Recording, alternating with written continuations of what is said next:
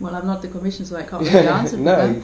However, from our green perspective, we have had, for example, a green investment strategy already for many years. Uh, the Green New Deal, all of those things we've been advocating for for many years.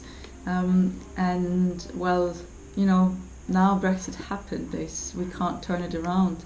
But this must be the last, you know, warning signal that we really have to change something. And well, it's better late than never, of course. Okay. It is a possibility, and it definitely scares me because um, France is a very important, also member state of the European Union, and if Le Pen wins, who is uh, promoting um, racist ideas, nationalist ideas, wants to get France out of the European Union, then, then, then that's going to impact all of us, and there is no running away from that. But I do hope that uh, it's not going to happen, um, and uh, we'll see what May brings.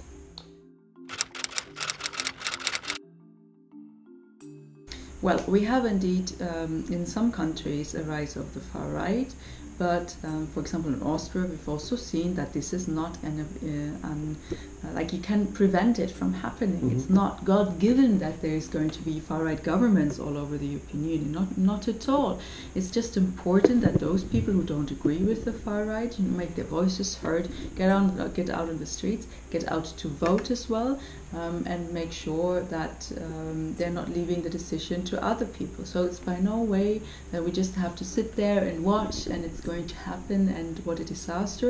We can do something about it. And Austria shows that it's possible to win over them. And I think we Greens are also in a very important position there. Uh, again, looking at the Austrian example, because the, the green idea of an open society, of uh, a good cooperation with each other, is the antidote um, to the far right um, populism and extremism. And I think we have an important role to play in that battle.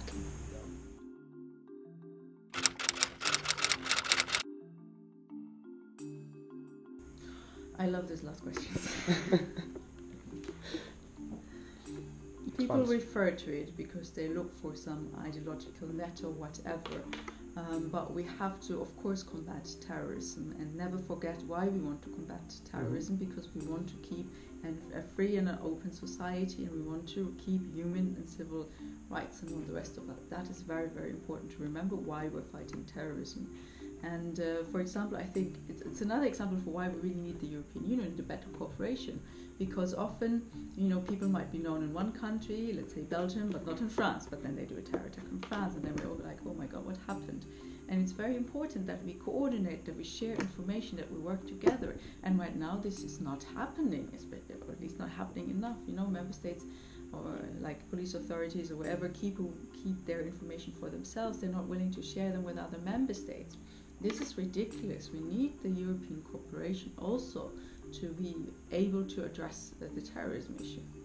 Yeah, but also uh, the, the terror attacks uh, dis, uh, dismantle the bonds between society.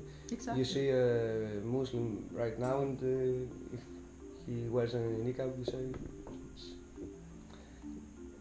But that's why it's very, I mean, it's, It- very it's important to remember why we need to fight terrorism.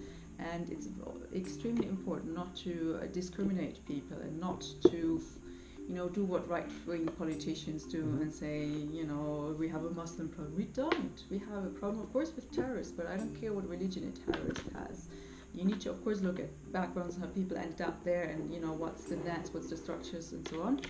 Um, but it's not, um, you know, it's, it's still a terrorist. Terrorism is a crime. It's a severe crime.